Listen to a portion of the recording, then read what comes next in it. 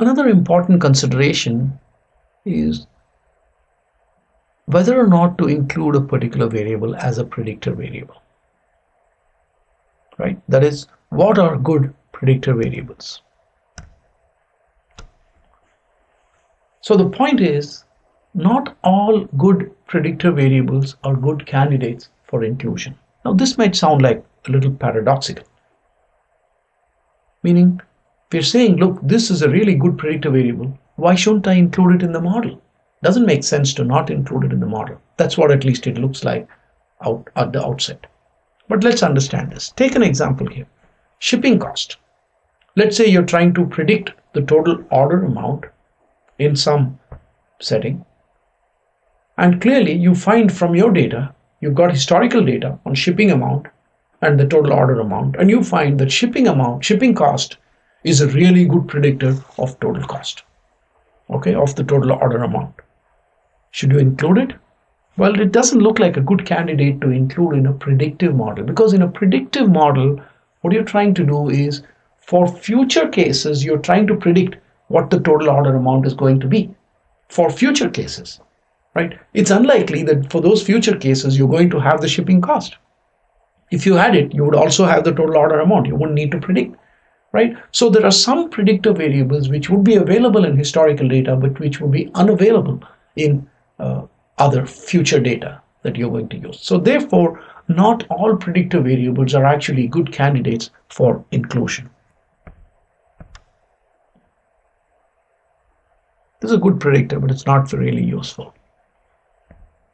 It might be a good point, good, good point at which to stop and think of examples of other variables which might be good predictors, but not really useful in a predictive model.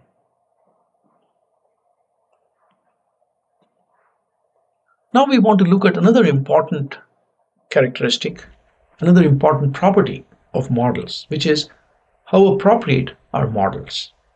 Right? Remember, our process is going to be we partition the data. For now, we'll think of it as training and validation partitions. We build a model with the training partition and then we apply the model to the validation partition.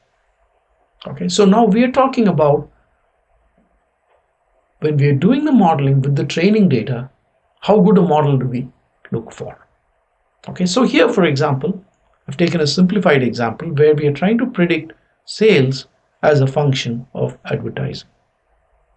Right, so we've got advertising and we've got sales information. Historically, these are the points that we are seeing here. Okay, so it looks like in general, increasing advertising increases sales, but not always. Okay, so one thing we might do is to fit a straight line and say for future we'll use this straight line to predict sales response to advertising. That's one possibility. But clearly this possibility is not an exact fit for the training data. What you're seeing on the screen is the training data. Clearly the line is not giving an exact fit. In fact, there's no point on the line. Right? So the line does not make an accurate prediction for any of the individual points, but it does a good job overall approximately. But for every single point, the line has an error, right? So it's not a perfect fit. But is it a good model? That's the question. Alternately, we might get another model which is an absolute perfect fit.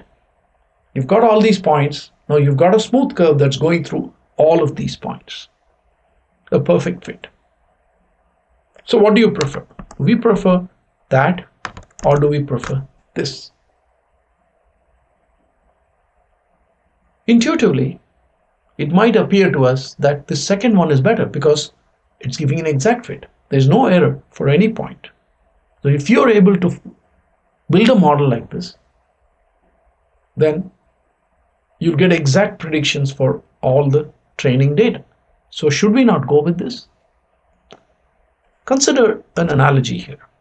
Let's say you're going to make a suit and the tailor is measuring you to make a suit Let's say you've just had a heavy lunch. You're feeling a little full. So you don't want the tailor to measure you exactly and fit you for what you are at that point in time. Okay?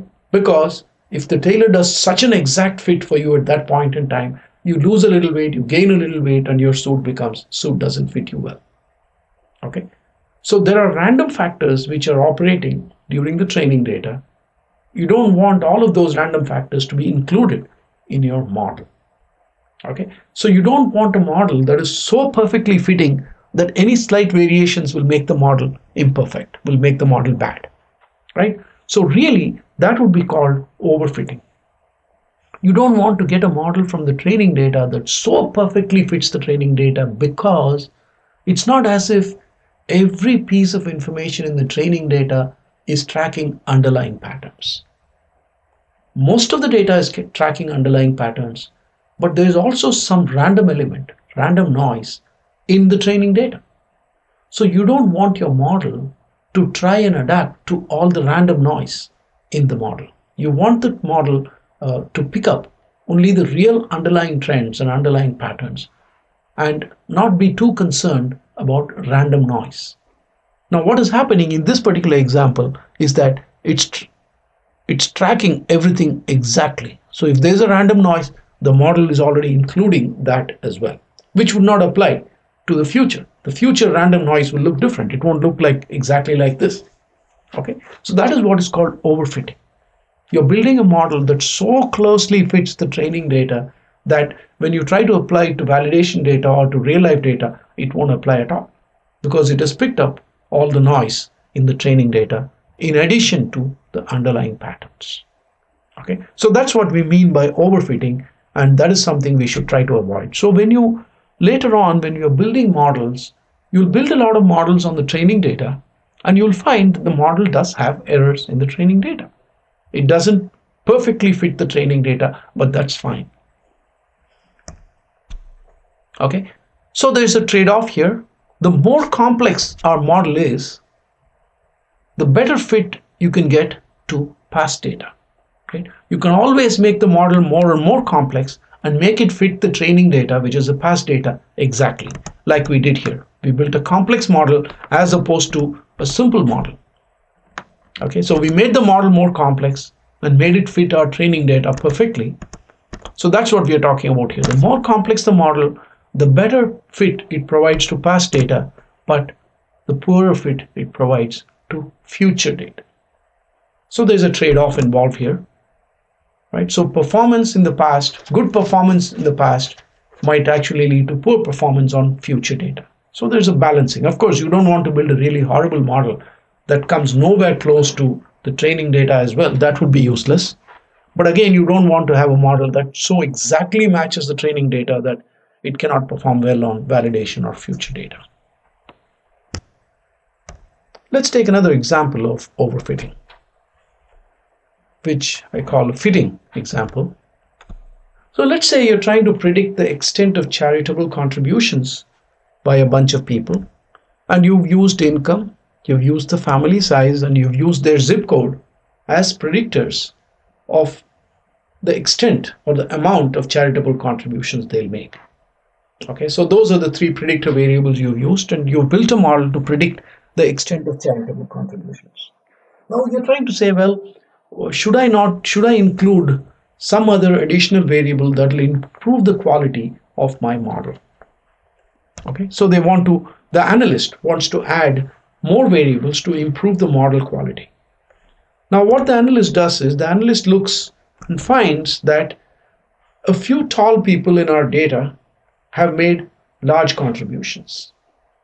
Right? So in addition to income, family size, and zip code, we happen to have information on the people's heights and we have found that there are a few tall people who made handsome contributions, handsome charitable contributions. So the question is, should we include height as another predictor variable? Because there are two or three tall people and they have made good charitable contributions. So if you include height, then the predictive ability of uh, your model on the training data would improve. But should we include this? Well, clearly, from our understanding, you know, this is noise. It's just coincidence that some tall people have made lots of contributions, and we have no reason to believe that tall people are more charitable than short people, right? So clearly, even though adding height provides your model with a good fit, we don't want to do this because what we are really trying to do in this case, if we include height, is we are simply matching the noise rather than the actual underlying patterns. Okay. Now, of course, this example might seem highly contrived, and it is highly contrived, an example of overfitting. But many times what happens is people have large data sets with many different variables, and they may simply just try all kinds of combinations and stick with the combination that seems to work best. Okay, when they do that somewhat blindly because there are too many variables, they cannot possibly explain every single variable. So they just simply use as many as they can. When they arrive at a model that works, they just go and use it. Right. So when you do things unthinkingly like that, you will end up in in uh, counterintuitive or illogical things like this. Right. So this is clearly clearly an example of overfitting. So clearly, the more variables we include in our model, the greater risk we run of overfitting the model.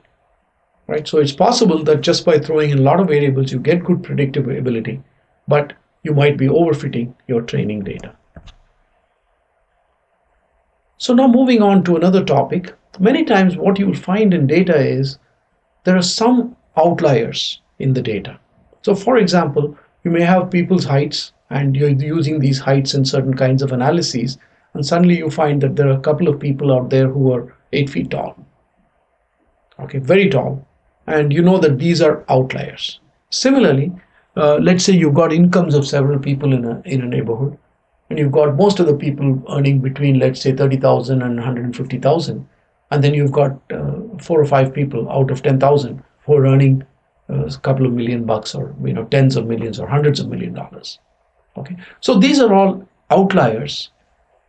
And we typically don't want to include outliers in our data because in many of the techniques they tend to distort the results a common example is uh, let's say there are 10 people sitting and having uh, you know having a drink at a bar and their average income is uh, let's say $50000 right? That's the average income. Now in walks bill gates into the bar as the 11th guy and suddenly the average income just shot through the roof okay? But you know the, the the composition of the group has not really changed much. So what happens is that the effect of this one value so completely dwarfs the effects of all the remaining values that is the problem with outliers okay so you want to try and get rid of outliers so an important thing that you want to do is when you're looking at exploratory data analysis. When you're looking initially at the data, you want to clean it, get rid of the outliers, and then start your analysis. Because if you include the outliers in your analysis, tends to distort things. Okay, so there are some rules of thumb for identifying outliers.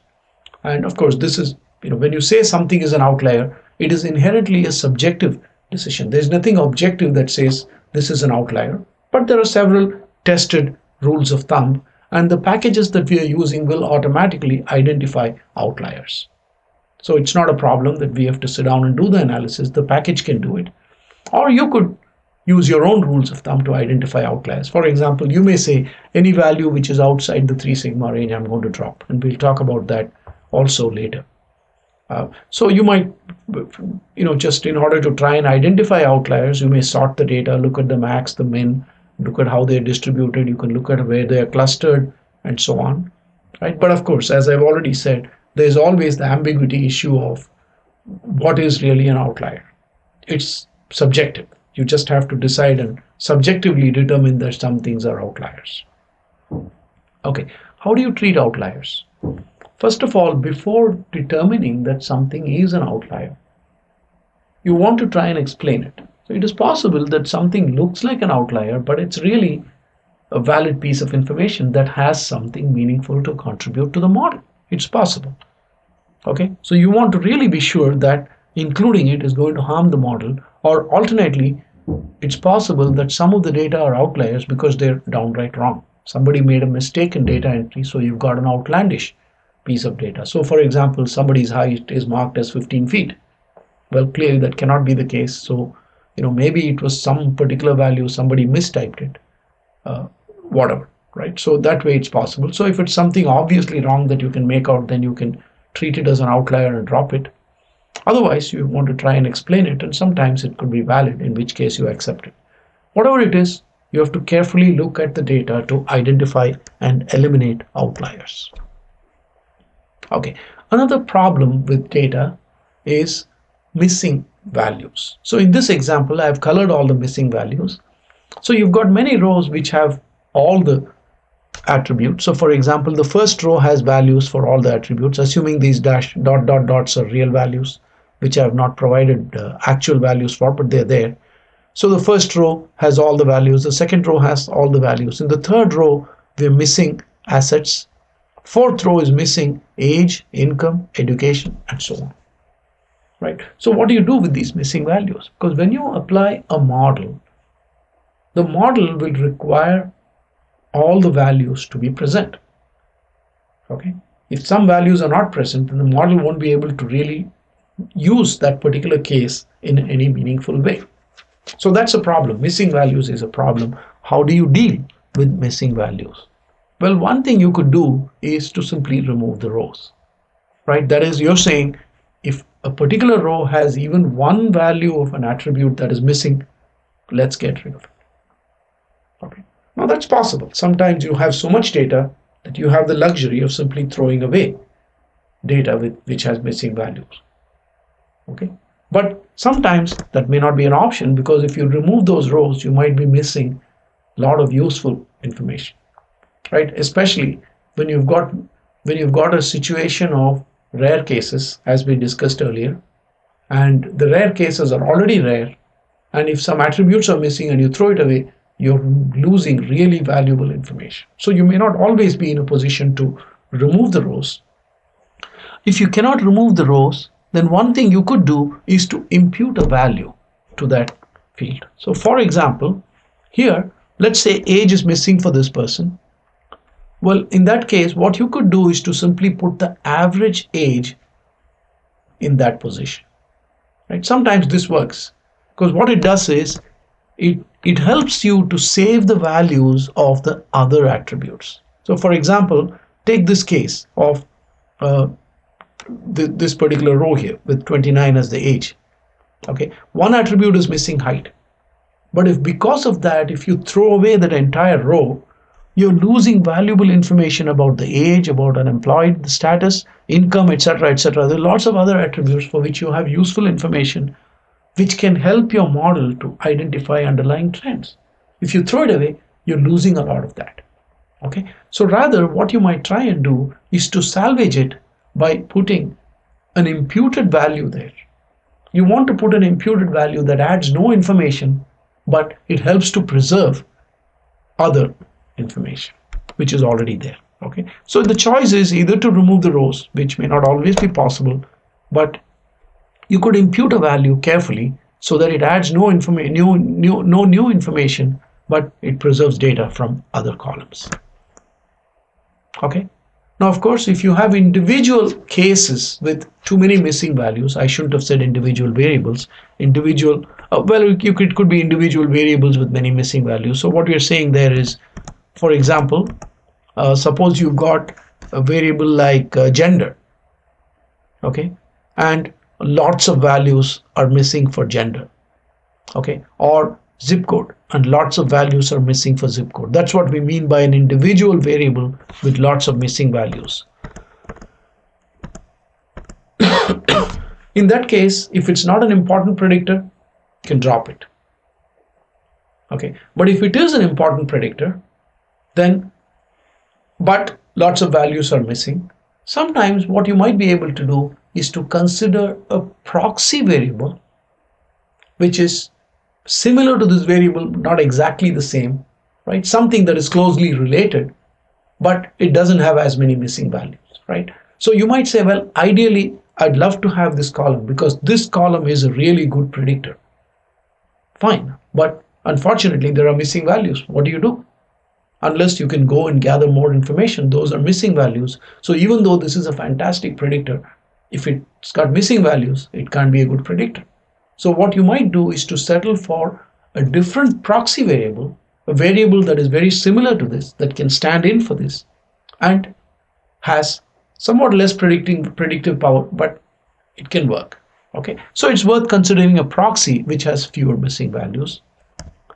Or alternately, you might consider investing more time and effort to get more data. If it's that important and you don't have a good proxy, unfortunately, you have to put in the work, the time, effort, and money to get the job done, collect more data.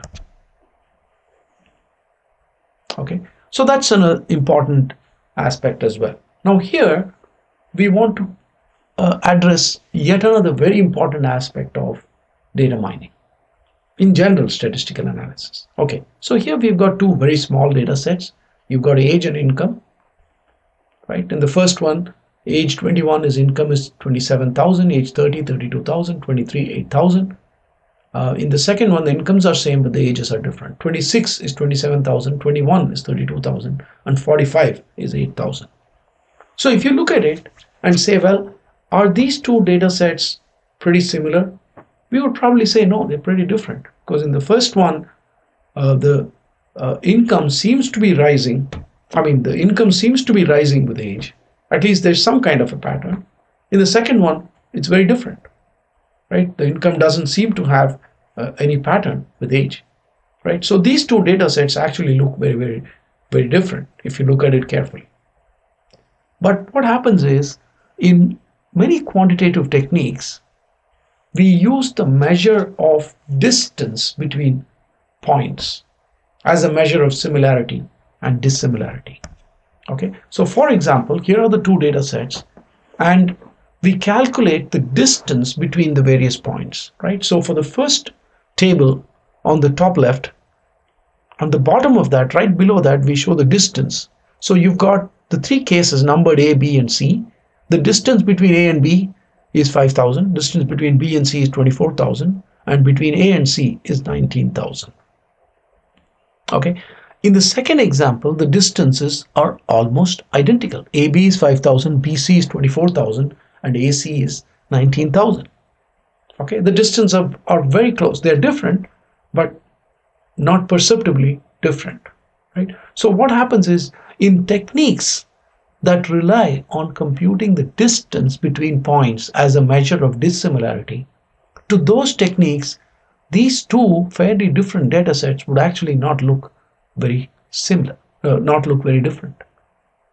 Okay, now, where is the problem coming from? Well, the problem is coming from the fact that when you compute the distance, right, you're taking age 1 minus age 2 the whole square, income 1 minus income 2 the whole square, sum of those two, and then you're taking the square root, right? So the two terms are square of, square of the difference in age plus the square of the difference in income, right? Here you notice that the incomes are much larger numbers. Age is 21, 30, 23. Incomes are 27,000, 32,000, 8,000. So even differences like the difference between 27,000 and 32,000 is so large that it can dwarf the difference in age between 20, 21 and 45, for example. Okay, so this the point is that income, because the absolute numbers are so large, that is dwarfing the effect of any differences that occur in age. Okay, so in some sense, income is hijacking everything in this particular example. Okay, but suppose we replace these incomes with much smaller numbers. In other words, you change the income to income in thousands of dollars. So age 21, income is now instead of 27,000 is 2.7 and so on.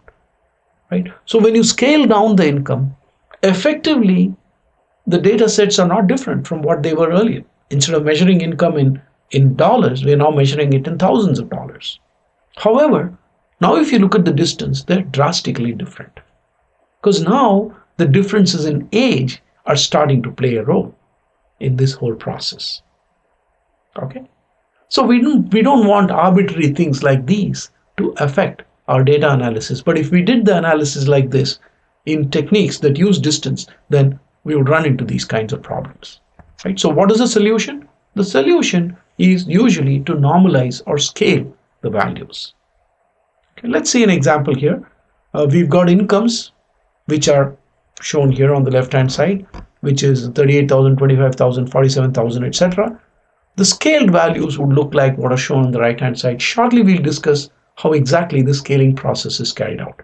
But what you can see is the largest income is 56,000 680 and corresponding scaled value of that is 1.406 the smallest income is 25,162 and the scaled value for that is minus 2.221 okay so the relative ordering is preserved and uh, the maximum is still the maximum the minimum is still the minimum. So it's all done but the values are now scaled values right? So now incomes all the incomes are small numbers and uh, the scaled income cannot really hijack any distance calculations. Of course uh, if it's so small and some other variables are there which are not scaled they could hijack your distance calculation. So we have to be careful.